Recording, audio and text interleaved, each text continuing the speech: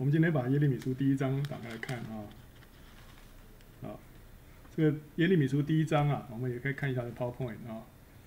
耶利米书第一章里面的重点就讲到耶利米蒙召的经过啊，他怎么样被神呼召起来啊，做一个先知啊。我们上回有讲过，他本来他的背景、他的身份是一个祭司啊。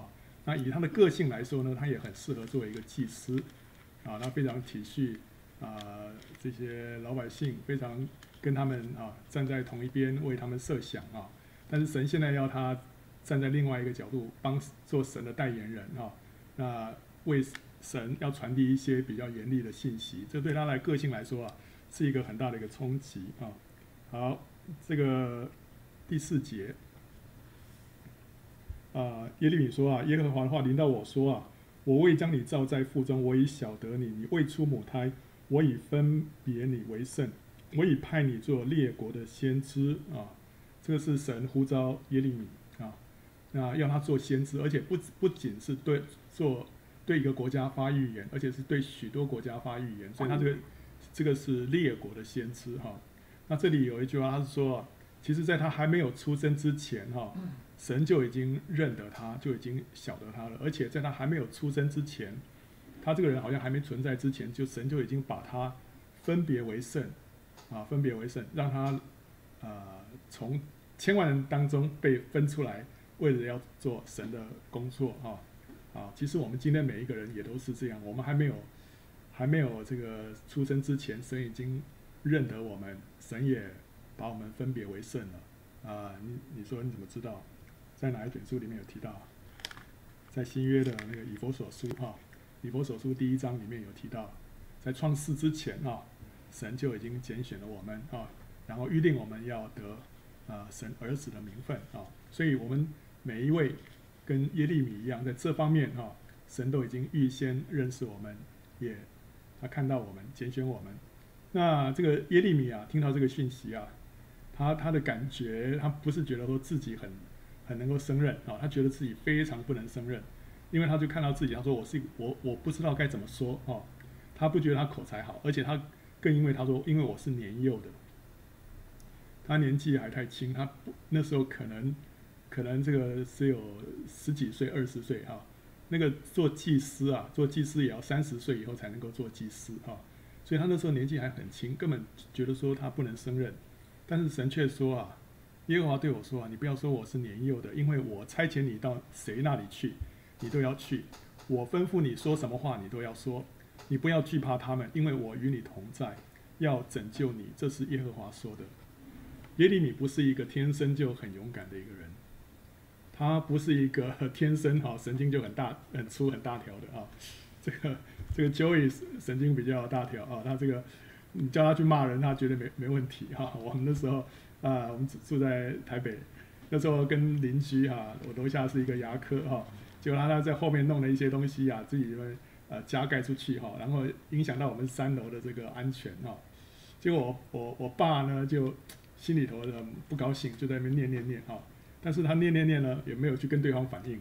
结果我这这个教会呢，结果听了就听不下去了。他说：“你既然觉得不爽，就应该跟他对方反应啊，就下去跟楼下大吵一顿。”我说：“哎，这个这种个性在我们家里面没有这样的基因啊。”结果后来他回来之后，我爸很高兴啊，有人帮他帮他去骂骂对方一顿啊。后来真的招小偷了。对了，就是因为他把那个外面加盖出去之后，小偷就很容易沿着那个爬上来啊啊。对啊，但是你叫耶利米去骂人哈，这个不是他的个性啊，所以他他就他就很为难啊，很为难。但神说啊，他说啊，我 我我吩咐呃你啊，我差遣你到谁那里去，你都要去啊。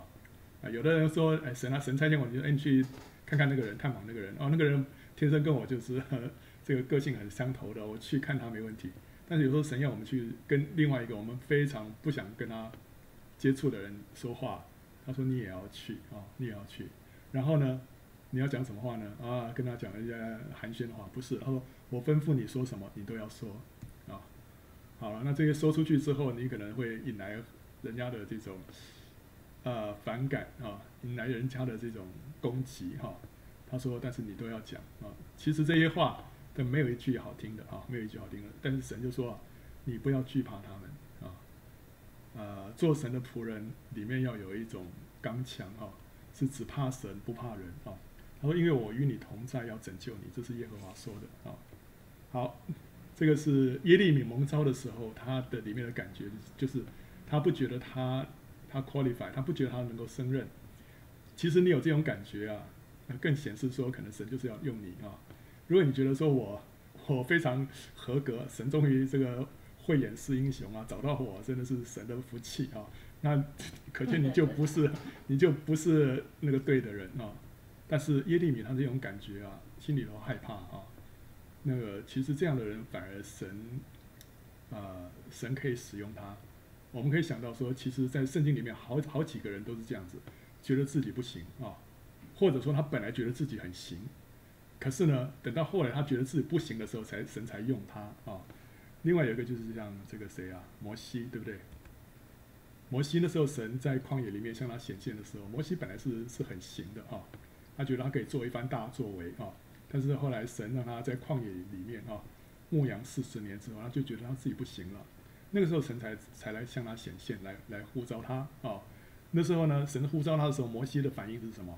摩西对耶和华说啊：“主啊，我素来不是能言的人啊，就是你，就是从你对仆人说话以后啊，也是这样。我本是左口笨舌的。”摩西哪里本来是左口笨舌？他之前呢，在埃及啊当埃及王子哈，是非常有口才的。但是，但是后来他真的是变成左口笨舌，经过那四十年的牧羊之后啊，整天跟羊在一起，你再怎么样会讲话，这四十年之后啊，都忘了怎么讲话了啊。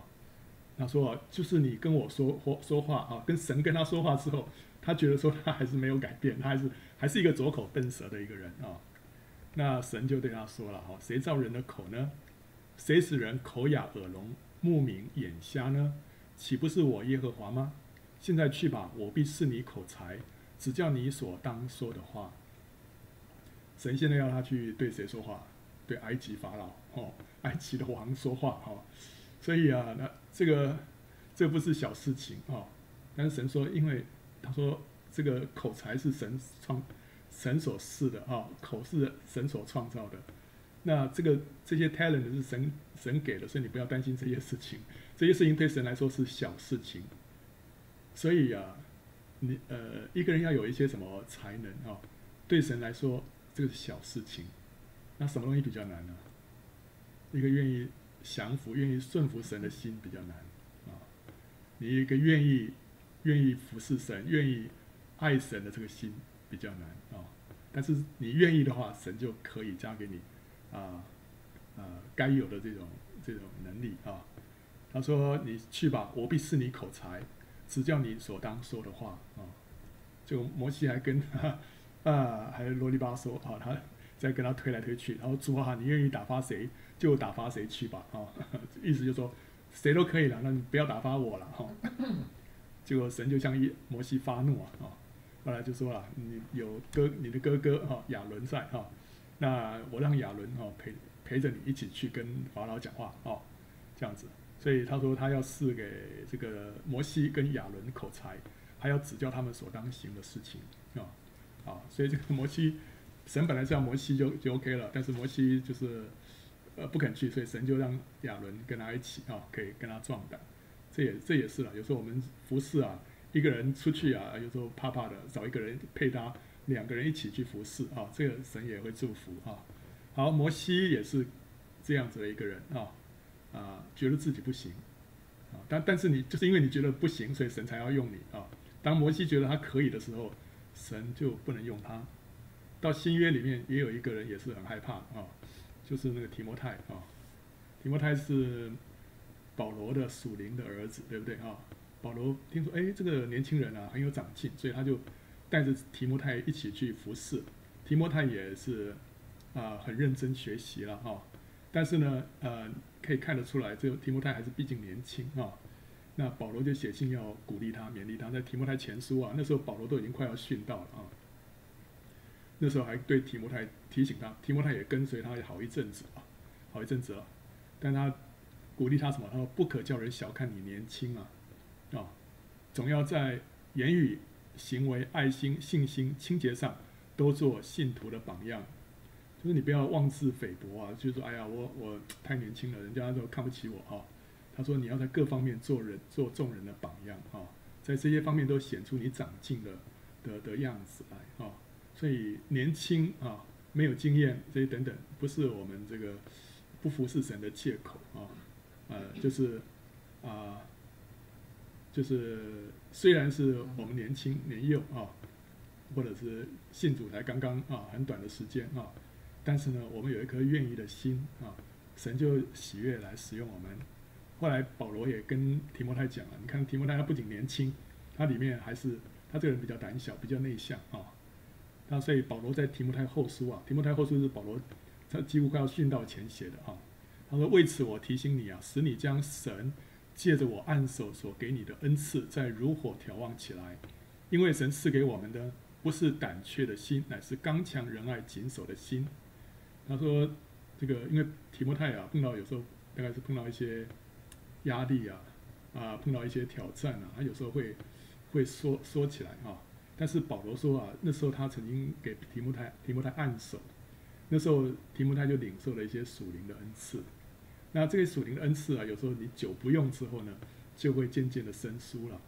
但是保罗要他常常运用神所赐给他的属灵的恩赐，哪些属灵的恩赐呢？也许他是应该要常常说方言啊，也许应该要常常哈为了这个按手祷告啊、医病啊，哈，或者说是起来常站起来在聚会里面站起来哈，呃说方言、方方言，或者说说预言呐，哈。那有些就是神赐给他的这个恩赐，他要常常去运用它啊。他说所赐给你的恩赐在如何眺望起来啊？然后呢，他说特别这边提到说啊，神给我们的这个心啊，英文是说，For God has not given us a spirit of 呃 timidity 啊，这个不是一个胆怯的一个灵啊，乃是什么样的一个灵呢？But of power and love and discipline 啊，这个这个神给赐给我们的这个灵啊。是是 of power 啊，是有大能的啊，然后呢是一个爱的灵啊，还可还有一个是这个是还有纪律的一个灵啊，好，所以所以意思就是说啊，当我们领受是呃神的灵，同时让这个这个什么，我们里面这个灵啊要成长的时候，这个这个灵是怎么样的一个灵？是一个是刚强的灵啊，是一个刚强的灵。所以我们应该说，信了主之后啊，我们这个人要变得更加的勇敢，啊，我们的个性会改变，里面会有一个刚强的灵、仁爱的灵跟谨守的灵啊。他说：“你不要以给我们的主做见证为耻，也不要以我这被主呃被求的为耻为耻，总要按着神的能力为呃与我为福音同受苦难啊啊。OK，所以这个提摩太的。个性也是，你看得出来，他一方面他年轻，他一方面呢也比较胆怯啊。但这些都都不是我们啊这个拦阻我们服侍神的一些借口啊，都需要克服，都应该胜过这些我们的天然的这种天性啊啊。那好，所以这个是耶利米，耶利米呢啊一开始神就鼓励他啊不要害怕，然后呢接下来啊。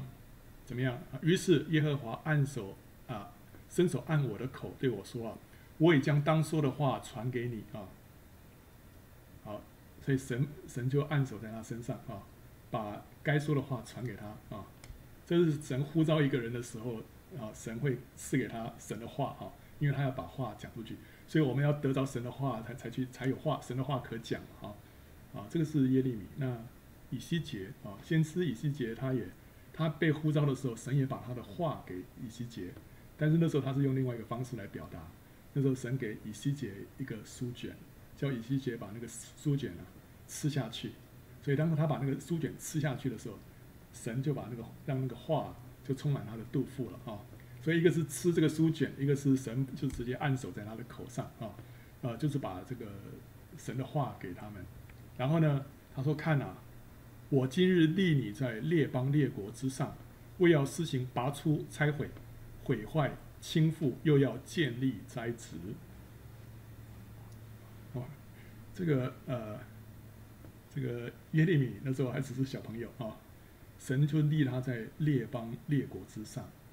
那不仅如此，以他那样的一个柔弱的个性，神要让他施行什么样的任务呢？要呃拔出，然后拆毁、毁坏、倾覆啊！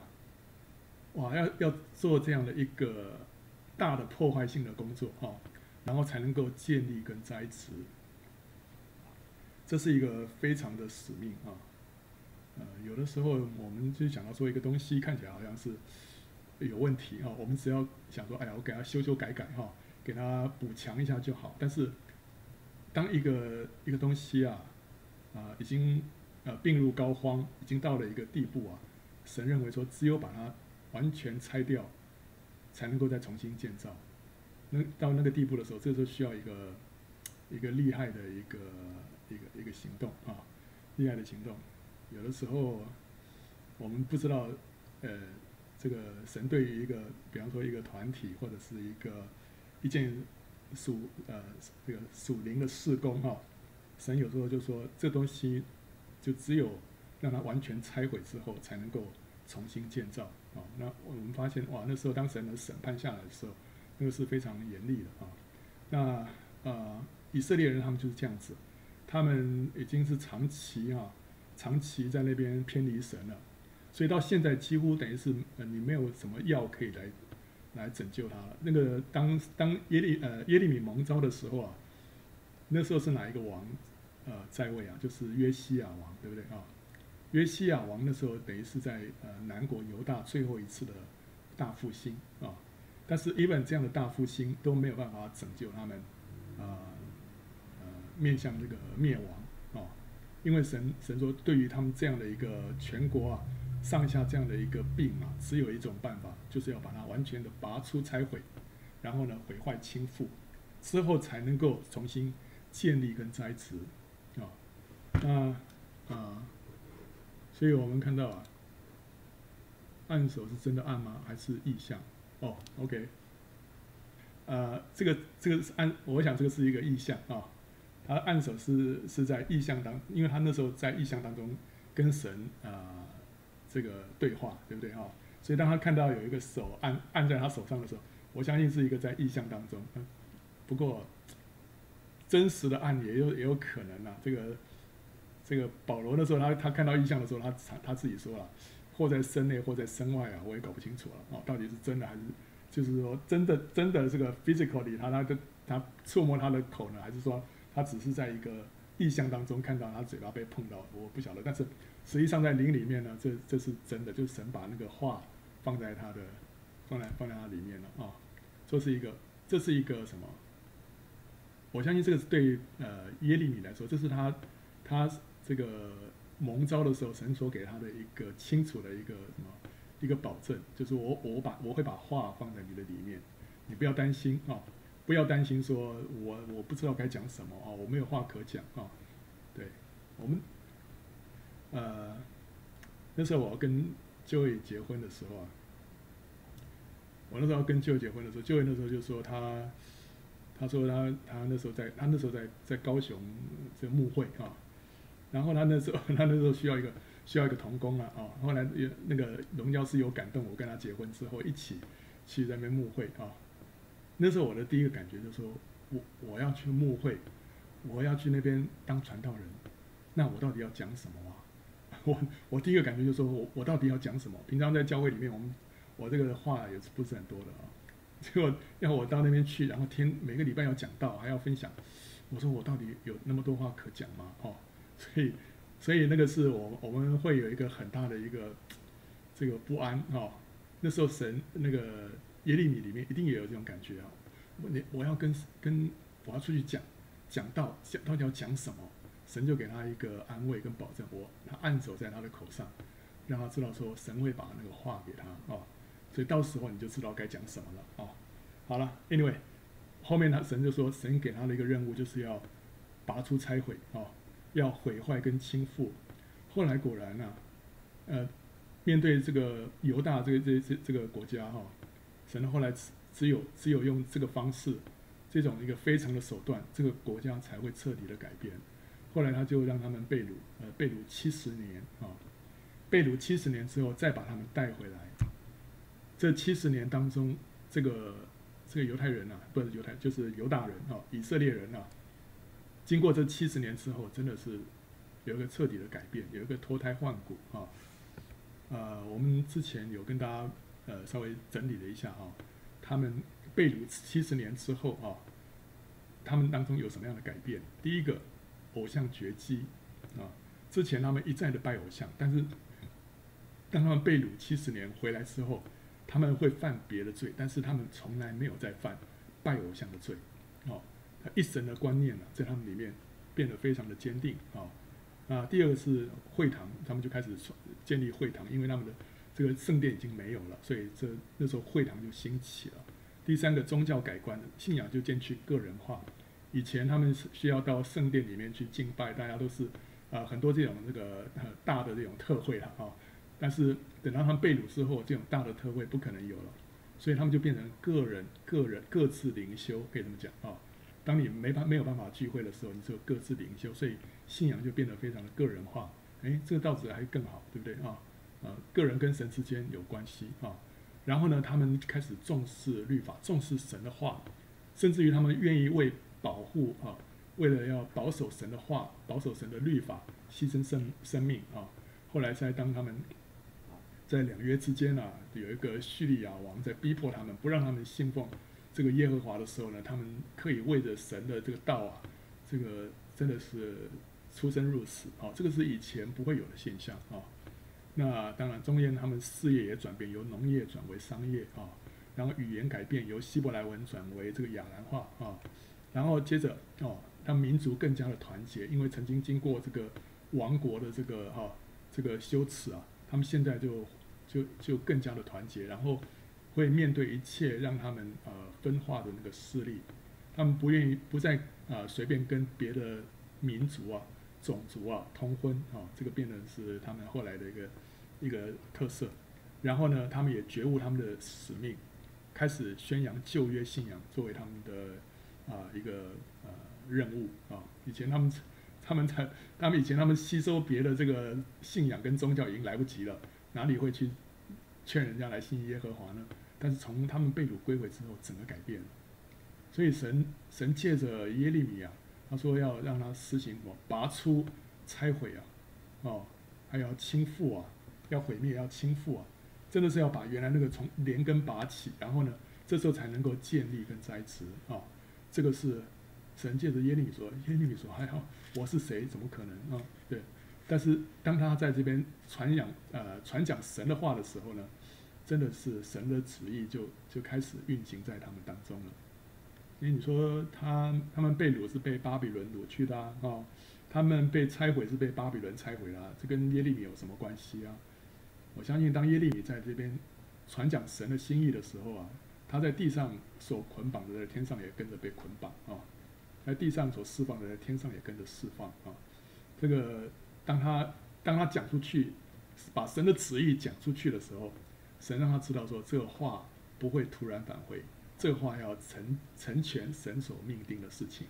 所以当他讲神的话的时候啊，神的一个创造的工作就在就在就在发生，就像当初神借着他的话创造天地一样。当先知啊在讲神的话的时候，一些事情就发生了啊。好，接着他让他看到呃两幅意象啊，啊第十一节。耶和华的话，耶和华的话又临到我说啊，耶利米，你看见什么啊？啊，耶利米就看看开始就看看意象啊，神就是那时候在他面前就就显出一个 picture 啊，让他看到一幅图画啊，是什么呢？他说我看到一只杏树枝啊，啊，那耶和华就对我说啊，你看的不错，因为我留意保守我的话，使得成就啊，杏树，大家看这个 PowerPoint 上面这个。这个这个这棵树，这个叫做杏树啊，哎，这个跟我们温哥华的樱花不是很像吗？呃，我觉得我们我们在这边看到很多樱花，可能有的其实不是樱花，是杏树啊，啊，甚至有的是桃树，有的是李树啊。我们反正我们这不懂的人都都一律说是樱花，其实不是，它里面有很多种类啊。好，那个所以这个杏树呢，长得跟我们所认为的樱花其实好像非常像啊。所以当它开花的时候，整树都开花啊。然后呢，他说啊，他这个神让他看到一只杏树枝啊，杏树枝，所以左边啊，这这个这个一根杏树枝是这样子啊。所以那时候他们大概是先开花，后来才长叶子，跟我那个这边的樱花是一样啊。好，然后当它长了叶子之后，结了果子，就长生出一些杏子啊，杏子，这个叫英文叫做 almond 啊，almond，almond 的话我们就比较知道，就是那个和呃 almond，almond 怎么讲？杏杏杏仁，对，杏仁啊，杏仁，对它，它将它的核啊，核之后它的一个有个硬的核里面把它外面那个壳给它打掉之后，里面会有一个比较比较那个可以吃的那叫杏仁啊。好，OK，那。这个他说杏树枝，他说呃神说啊，你们看的没错啊，所以神给他第一个训练，让他看看意象啊，看完之后你跟我报告你看到什么？他说我看到杏树枝，神说嗯，看的不错啊，这个这个合格哈，但是现在跟他解释，他说因为我留意保守我的话，使得成就，杏树枝跟神保守他的话有什么关系啊？啊，这个我们不懂希伯来文，所以不晓得，但是如果懂得希伯来文的话，你就会发现了。这个杏树的希伯来文啊，跟这个留意保守啊，这个希伯来文这两个字是非常像的啊，读音也很像。所以当神给他看到杏树枝的时候呢，他的意思就是说，当你看到杏树枝，你要知道，就是神他会留意保守他自己的话，使得成就啊，让这个话要成就。所以我们之前读这个以赛亚书啊，有这样的话，对不对啊？同样的意思。以赛亚书五十五章十到十一节啊，雨雪从天而降，并不返回，却要滋润地土，使地上发芽结实，使撒种的有种，使要吃的有粮啊。然后呢，我口所出的话也必如此，绝不突然返回，却要成就我所喜悦的，在我发他去成就的事上，必然亨通。这个是。耶利米在蒙召的时候所看到的第一个意象，所以这个意象在那里面呢，印象一定非常的深刻。神的时候没有给他看别的，他只给他看两个意象。第一个就是就是这个，这个是让让耶利米知道什么？神他说出去的话绝对不会突然返回，神会留意看守啊，留意保守，让他的话一定会实现的。所以，当耶利米得到神的话的时候，他不要担心，他不要害怕，他只要讲出去，神会让这个话应验的。哦，他说绝不突然返回，而且呢，却要成就我所喜悦的，在我发他去成就的事上，必然亨通。所以这个话不是只是预言而已，这个话本身会会做工的。哦，这个话发出去之后啊，他会成就，会成就神所喜悦的，而且呢。他说：“在在这个世上啊，这个话必然亨通啊，所以神的话有能力。那今天神让这个先知讲神的话，这个话也是带有能力的，他会他会做，呃，会成就一些事情。所以这是呃神让耶利米看到的第一个意象啊。所以要对神的话要有有有怎么样，要有把握啊，要相信神的话绝对是不会不会落空的啊。”好，第二个，他看到第二个意象是什么？他说啊，他说耶和华的话第二次临到我说，你看到什么啊？然后这个 眼里又看啊，在，然后我看到一个烧开的锅啊，从北而倾啊，从北边这样倒下来啊，哇，一个里面都滚烫的水这样就倒下来，从北边倒下来。耶和华对我说啊，必有灾祸从北方发出，临到这地的一切居民啊。啊，这是他所看到的第二个意象。这第二个意象等于是后来耶利米他一辈子所传讲的啊这些话语的里面的一个主轴啊，里面的主题就是这个这个信息，灾难要临到这个国家，而且是从北方北方过来啊，所以这是一个它这个不是一个福音，这是一个祸音，对不对啊？是有祸了，有祸了，而且从北方下来。好，那那个为什么从北方下来？你看这个地图哈。呃，好，犹大在这个地方，对不对啊？犹大在这个地方，那犹大后来是被巴比伦所灭的，巴比伦在东边啊，对不对？巴比伦在东边，那巴比伦跟犹大中间呢，有一个这个沙漠啊，有一个阿拉伯沙漠，所以他从所以那个当巴比伦的军队啊来攻击犹大的时候，他是要绕过这个沙漠，对不对啊？绕过这个沙漠，然后从这个从北边啊临到犹大啊，所以他说这个灾祸是从北方发出的啊，北方发出的，所以他因为他他要绕过这个沙漠嘛，所以这个是是这样来的啊。好，OK，所以这个是他的所看到的这个第二个意象啊，第二个意象啊，所以他说第十五节啊，耶和华说：“看啊，我要招啊北方列国的众族，他们要来，各安座位在耶路撒冷的城门口。”周围攻击城墙，又要攻击犹大的一切诚意。至于证明的一切恶，就是离弃我，向别神烧香，跪拜自己手所造的。我要发出我的判语攻击他们。啊，好，所以 神神这时候要耶利米发的就是这个审判的话啊。对，十七节，所以你当束腰啊，起来将我所吩咐你的一切话告诉他们，不要因他们惊惶，免得我使你在他们面前惊惶啊。好，所以这个，呃，这个是神给耶利米的第二个意象哦。然后接下来他说什么哦？第十八节，看呐，我今日使你成为坚城、铁柱、铜墙，与全地和犹大的君王、首领、祭司，并地上的众民反对。呃，他们要攻击你，却不能胜你，因为我与你同在，要拯救你。这是耶和华说的啊。OK，好啊。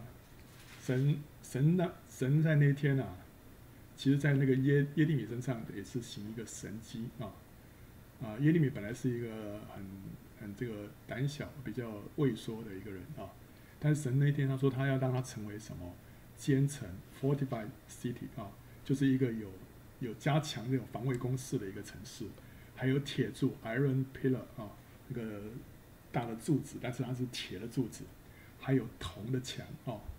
那为什么呢？要跟全地反对，要跟犹大的君王反对，要跟首领反对，要跟祭司反对，还有要跟地上的众民反对，要 against 这些人哦。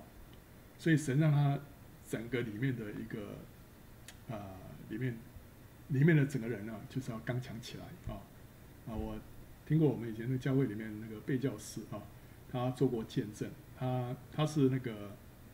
在那个教会里面几个教师当中，他算最年轻的啊。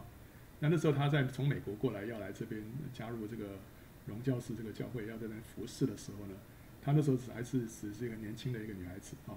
那时候他要来之前啊，他他个性也是，他也个性也是非常内向的啊，非常内向的一个女孩子。他说那但是那时候来之前呢，那个教会的美国教会的那个吴老牧师呢，就为他祷告啊，祷告什么？然后神啊，求你把一根铁柱啊放在他的脊椎里面啊。让他这个人哦，要要刚强起来哦。结果他说啊，那时候当那个吴老牧师为他这样按手祷告的时候，他就真的感觉到就有一根铁棒啊，就这样插进来在他的这个脊椎里面，让他这个本来是一个软骨头的哈，那时候整个人就就挺起来了，就刚强起来了。所以后来他来到台湾的时候呢，就他可以放胆的来服侍神啊。好，这个是这个是那时候那个那那个贝教师跟我说的一个见证啊。这个恩赐叫做行异能的恩赐。哦，OK，好，那那个那个见证让，我就想到耶利米啊，耶利米那时候神就让他说：“我今日让你成为坚城、铁铁柱跟铜墙。”所以那天我我我知道说，耶利米他里面本来是一个怯弱的一个灵啊，那天开始神给他里面一个改变啊，一个改变，让他里面刚强起来。所以神赐给我们的是什么？刚强、仁爱、谨守的灵啊，好。所以当呃，我们就回顾一下第一章，耶利米他这是他他蒙召的的的一刻，对不对啊？那时候他蒙召的时候，他领受了什么呢？他领受了神给他的装备啊，神给他的装备，其实我们可以呃整理一下，其实主要有两样装备，一个是神的灵，一个神的话啊。神的话，神按手在他的嘴巴，对不对哈？把神的话赐给他了。那另外呢，神的灵啊是什么灵？就是刚强的灵，让他成为。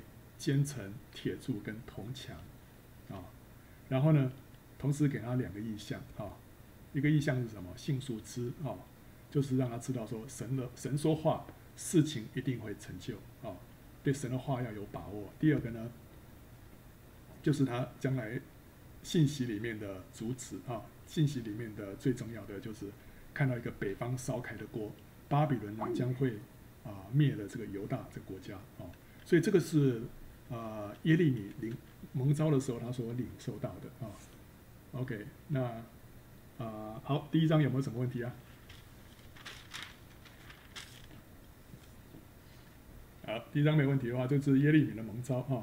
蒙召之后，他就要开始要服侍了哈。服侍之后，神给他的第一篇的奖章啊，这是第二章啊。第二章，第二章第一节啊，耶和华的话临到我说啊，你去向耶路撒冷人的耳中喊叫说哈，要向他们大声喊叫啊，喊叫什么？耶和华如此说：你幼年的恩爱，婚姻的爱情，你怎样在旷野，在未曾耕种之地。跟随我，我都记得啊啊！神记得这些以色列人，他们在最起初的时候啊，带着一个单纯的心来跟随神啊，带着一个渴慕的心来跟随神。他神说啊，那些日子啊，他他都记得，他都记得啊。是，你看这句话，这句话非常非非常非常的浪漫哦。啊你幼年的恩爱，婚姻的爱情啊，你怎样在旷野，在未曾耕种之地跟随我，我都记得啊，好像那时候以色列人他们还没有像现在啊这样子，好像是这个吃喝饱足啊，像现在这个日子过得这么优渥，没有，那时候他们等于是跟神在一起啊，他们生活非常的简单啊，但是这些日子的那个爱情啊，神却是觉得刻骨铭心啊。哎，你在想说，以色列人什么时候跟神这么这么罗曼蒂克？呃，我想到有一段哈，那时候在在民数记第十章哈，那时候当他们以色列人啊，这个在西奈山领受了神的律法之后，他们就从西奈山离开，要往迦南地去。然后那时候呃，他们讲到说，他们就就就就就就带队啊，这样离开了。那那时候民数记第十章怎么说？他说：“以色列人离开耶和华的山啊，往前行了三天的路程啊。那时候他们刚刚出发啊，然后耶和华的约柜在前头行了三天的路程，为他们寻找安歇的地方。呃，这句话那时候我我我常常那时候读这句话，一方面觉得这这这个画面非常的生动啊。”但是，一方面我也是有点不太明白，说，呃，为他们寻找安歇的地方。我说，神都知道前面什么地方可以安歇，为什么还要寻找？哦，去就是了嘛，哦。但是在这里，我们好像看到啊，就是神跟他的百姓之间一个亲密的互动啊。神就走在前面，好像就是走一步，然后再再再等他们后面跟上来哈。然后他继续往前走，然后他同同时还在前面呢，为他们去寻找去。去找那个可以呃休息的地方啊，这个你会觉得好像非常的这个 personal 啊，personal，神在为他们找寻找寻找这个可以安歇的地方啊，然后呢，他们拔营往前行啊，日间有耶和华的云彩在他们以上，跟他们紧紧的在一起啊，然后就你就好好像看到看到一对夫妻啊，哦，就这样好像在旷野里面走在一起啊，走在一起。然后呢，约柜往前行的时候呢，摩西就说：“耶和华呀，求你兴起，愿你的仇敌四散，愿恨你的人从你面前逃跑。”然后呢，当约柜停住的时候，他就说：“耶和华呀，求你回到以色列的千万人中。”呃，你读了这段话，你会有什么感觉啊？神说：“呃。”你幼年的恩爱，婚姻的爱情啊，你怎样在旷野，在未曾耕种之地跟随我，我都记得。我相信就是这这个这种光景这一幕啊。当他当他们以色列人要起行的时候啊，摩西发出这样的祷告：耶和华，求你兴起啊！哦，愿你的仇敌四散，愿恨你的人从你面前逃跑啊！然后约柜停住的时候，他就说：耶和华，求你回到以色列的千万人中啊！你会不会觉得说？他这种祷告有点像，像我们这个信主的时候啊，跟神之间一个非常亲密的关系啊。你走到一个地方啊，哎呀，你就停下来跟神说说话啊，神啊，感谢你啊，感谢你啊，跟我同在啊，神啊，我现在要去哪里啊？你丰富啊，跟我在一起啊，哦，愿你这个赐给我前面一个通达道路啊，愿你的仇敌四散啊，愿恨你的人从你面前逃跑啊。然后当你这个停下来回到家了，哦，神啊，求你回到我们当中啊，哦，哦，然后就是这个你你或走或停啊，就是里面不断的在跟神这样交通，跟神祷告啊。虽然那时候以以色列人他们其实他们的灵性不见得很好，但是那时候摩西这个祷告啊，神把他当做是以色列人跟他之间的那个祷告，摩西代表以色列人啊发言向神祷告，那所以这些话这些话我觉得说，嗯，以前我看说，哎，这些话好像可有可无啊，这个摩西你不这样祷告，神也会这样做啊，哦，是，但是不是啊？神要摩西把这个话写下来，表示就是说，神很宝贵我们跟他的这些呃卿卿我我 这些这些话，哎呀，一每一个小事情，哎呀，神啊，谢谢你，神啊，感谢你啊，是吧？哦，里面渴慕你啊，是吧？求你丰富与我同在啊，哦，不要不要离弃我，哦。我们有时候里面就是跟神这种讲话，就像类似这样子。神说这个是幼年的恩爱，婚姻的爱情。啊在旷野，在未曾耕种之地，怎么样跟随主？主都记得啊。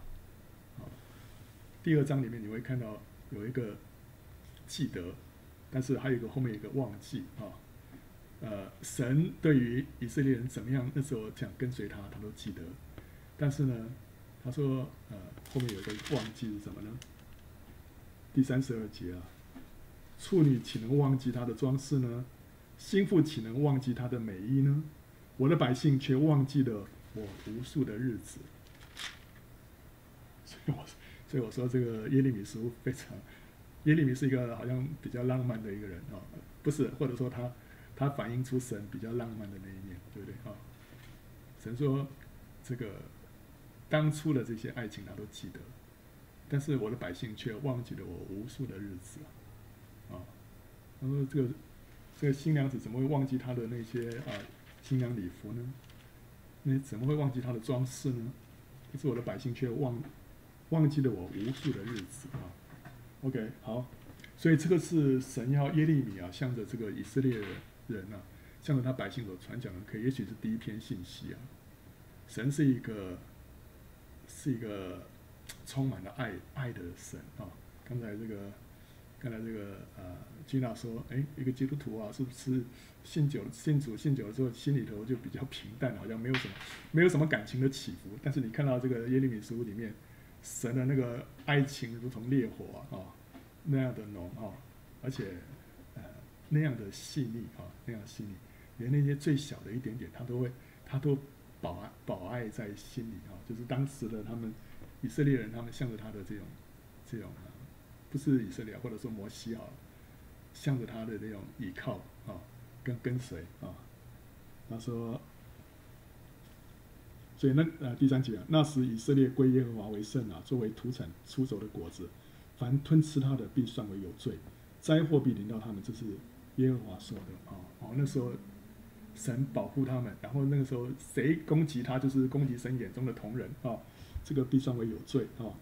好，雅各家、以色列家的各族啊，你们当听耶和华的话。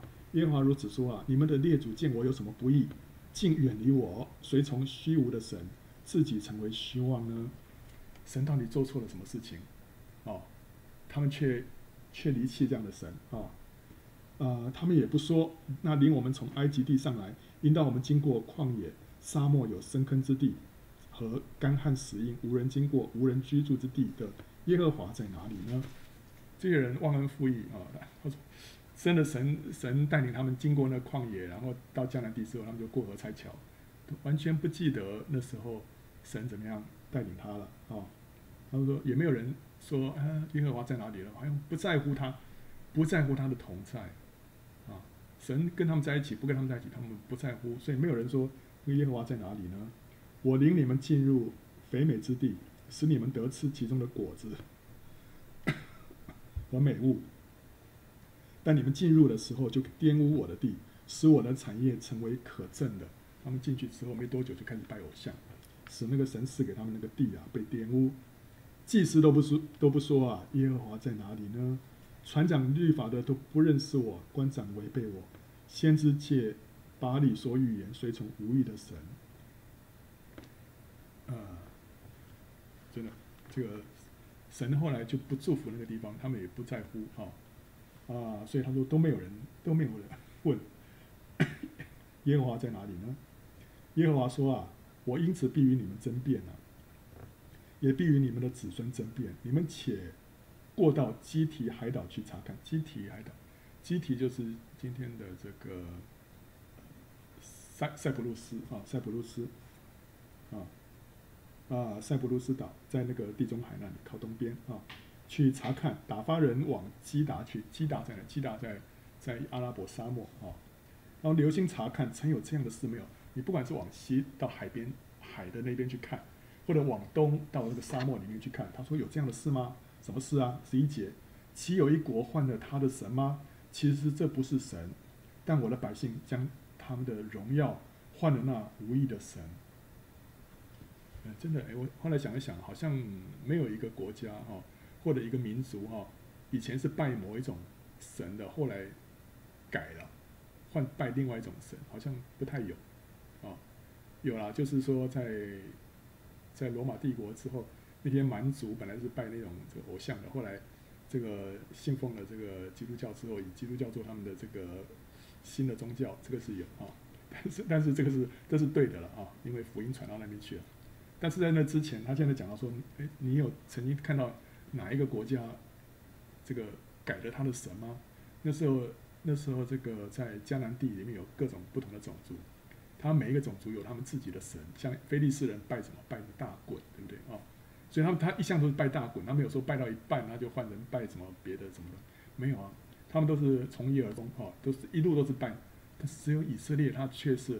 本来是拜耶和华的，后来居然拜这个拜那个，拜巴利拜什么，这个那个。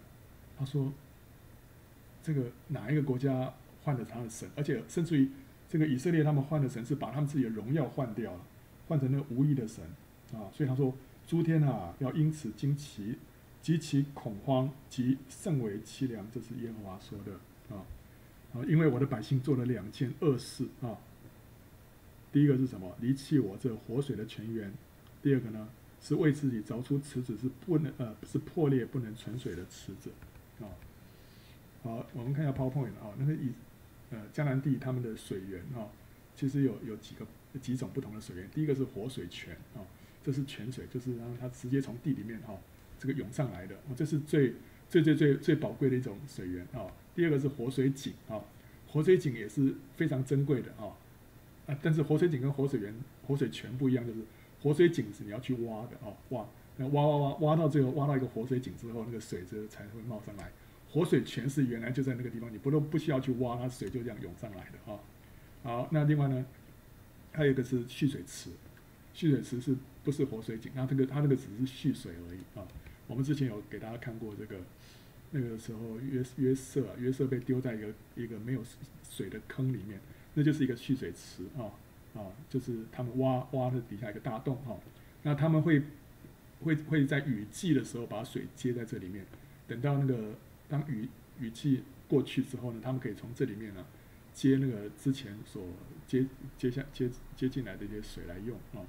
好，右边这也是一个蓄水池啊。那蓄水池不是说哎我挖了一个洞之后就 OK 了，它要在里面要要要抹上一些呃灰泥啊，它这下面会你看它上面有一层这个叫灰泥啊。这个涂层抹上去之后，才能够防止它漏水，才水水在里面才会接得住，不然的话，它都从土都都都渗掉，都都都渗渗掉了，对不对？都都都跑掉了，所以他一定要先给它弄弄好。但是呢，他说我的百姓做了两件恶事啊，一个是离弃我这活水的泉源啊，神是那活水的泉，是最最最珍贵的那个水源啊。然后，但是呢，他们给自己凿出池子，就是蓄水池。那这个蓄水池呢，还不是一个一个一个一个好的蓄水池，是破裂不能存水的。它旁边那个涂层啊是破裂的，所以你水啊进去之后，它都会都会渗掉，都会都会跑掉的。他说，他们拜偶像啊，就是给自己凿了一个池子，是破裂不能存水的。那是当时以色列人的光景啊！今天很多基督徒也是同样的光景啊！自己给自己凿一个蓄水池是破裂不能存水的。但是呢，神是要我们来依靠这个活水泉啊，这个蓄水池啊，破裂不能存水的，就是自己的自己的一些啊理想抱负，一些自己的工作，办法，你自己的办法啊，这个或者说你自己的一个野心，这就是那些偶像啊，那些东西，他说没办法把把这个里面的这个这个水啊存住的，都会都会漏掉的，这个祝福都会漏掉的。但是呢，神叫我们来依靠他这个活水泉，是源源不绝的啊。OK，好，我们今天先停在这里好，好不好？啊，呃，弟兄姊妹有什么问题吗？我们要祷告，主求你让我宝贵这个活水泉啊，不要自己去凿一个这个破裂不能存水的池子，也要。宝贵跟神之间那个起初的爱啊，那个启示录里面，以佛所教会被责备，就是你把起初的爱给责给离弃了啊。神很在乎这个我们跟他之间那个最起初这种很浪漫的这个这种关系啊呀，在每一件事情上头，你跟神说，跟神祷告啊，是吧？你跟我在一起啊，主啊，我宝贵你的同在啊。哎，这就是那起初的爱啊。